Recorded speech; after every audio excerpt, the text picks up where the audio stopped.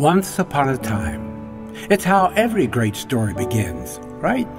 The ones that bring us inside their pages and captivate our minds, where we don't just read about characters in a story, but we're one of them. We're part of something real and meaningful, something bigger than ourselves. But then there's the lives we live in the real world. In this complex, crazy, complicated place we live, we are forced to ask is there any storyline at all for our lives?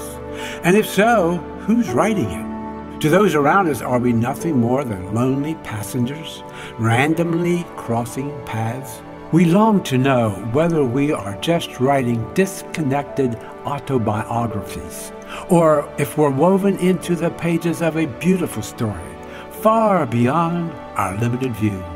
A story that first began once upon a time.